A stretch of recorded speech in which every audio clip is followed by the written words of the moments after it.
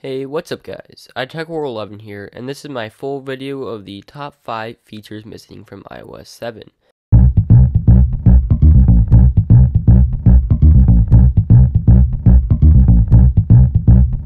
So the first feature is in the keyboard.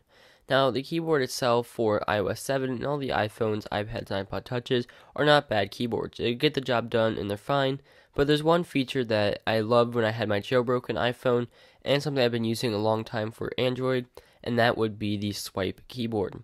Now, this is really cool. It essentially just allows you to type very quickly by dragging your finger across the keys and allows you to create words just by that. So you see here I'm demoing it on my Nexus 7, and it's a super cool, convenient, and fast feature. It really just allows you to have simplistic typing. It also looks really cool if someone just watching you type like that. They might ask what you have and you're just, you know, feel a bit better because the keyboard looks really cool and it's just a really functional feature that I definitely like having. Now the next feature is widgets. Now the closest thing to widgets would be the clock because it does update in real time and also the calendar app shows the correct date. But there really isn't any other widgets and Apple could have put widgets with the iOS 7 or at least on the iPhone 5s which the much power much more powerful processor. So again, this is something that Android has been having for a long time, and it definitely is another really cool feature that I like. Android widgets are really simplistic and easy to use, as well as reorganize, move around, resize, and delete. So widgets are a really cool way to stay up to date with different things. As you see just on here, I do have some different news widgets, battery widgets, and different widgets just like that, which really just add to the overall feel and functionality of your OS, and it's a really nice feature that I wish Apple would have included. Now, my third feature I want to show you is sharing options. Now, if you want to share something on iOS, you get Message, Mail, iCloud, Twitter, Facebook, and Flickr.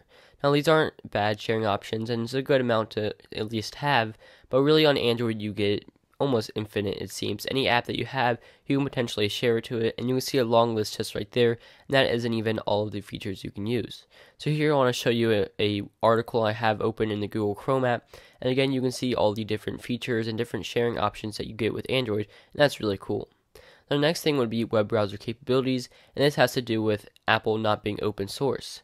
So you see right here, if I try to download an APK and I click download, it just won't do anything.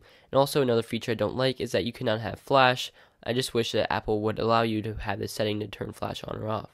Now, if I go to that same thing on my Nexus 7 Android tablet and I download it, it will actually download. So I can download and sideload applications on Android, which is something Apple could only dream about right now.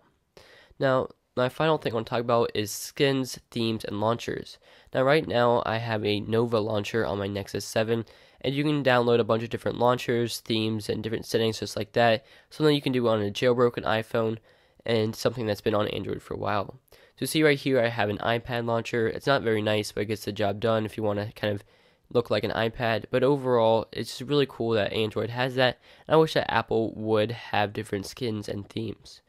So thanks for watching. Don't forget to follow me on Twitter, subscribe, and comment your top 5 iOS 7 missing features. Thanks for watching, and I'll see you later.